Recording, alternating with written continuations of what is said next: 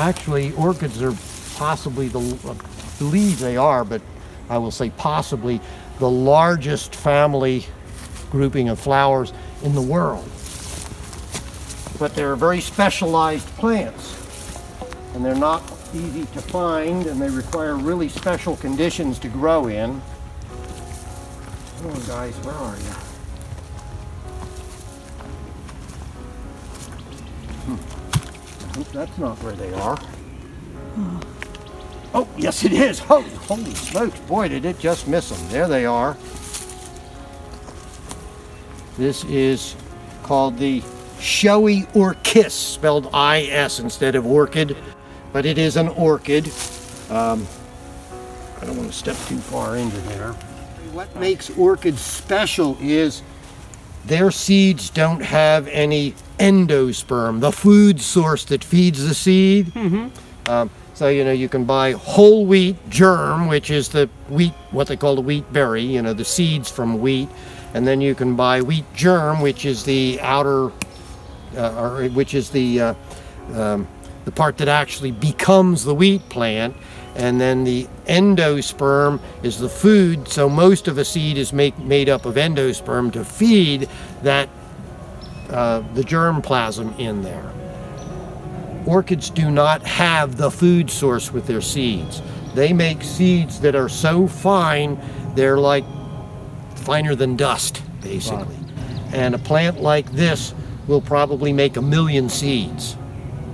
And they're very fine, so they're airborne, but because they don't have a food source, they actually have to land in the woods on a spot where the right fungus already grows.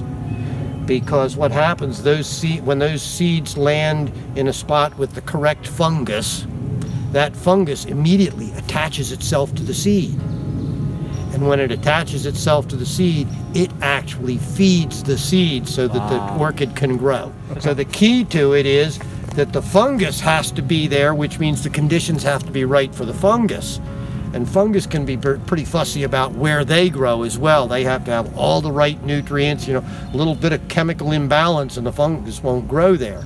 And there are hundreds and hundreds of types of fungus. So, and we don't, I, have, I do not know whether they have determined yet, you know, what specific fungus this grows with or whether maybe there's a couple that it mm. grows with. But that's how it works. Millions of particulate seeds that just scatter all over the place and a few of those seeds may land on a spot where the fungus is. The fungus grabs hold, nourishes the seed, and you get an orchid plant. So yeah. this is the this is our prettiest orchid. The old name for this, when the Painter brothers were here and actually on up into the early 1900s, they used to call this the Adam and Eve orchid. I've not ever seen any reason behind that, but there, you know, the um, scientific name for it is Galearis spectabilis, as in spectacular. And, you know, they're really, they're very lovely.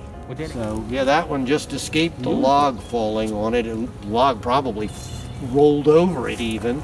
Um, and there are more in here. They're really hard to find. You know, I know where that one is, and it's a case of stumbling along, and you know, it's here somewhere. But yeah, there there are more in here. I found them years ago. I looked the next year and didn't find them. Orchids have been known to take years off. They'll come up and they'll they'll flower for a while. You'll get used to seeing them and depend, you know, oh, we'll always find it there. And you go out one year and they're just not there. They just finally just said, I'm taking a vacation, and they don't come above ground. And they may spend a decade before they surface, come back up above the surface again. So these are one of the more dependable orchids.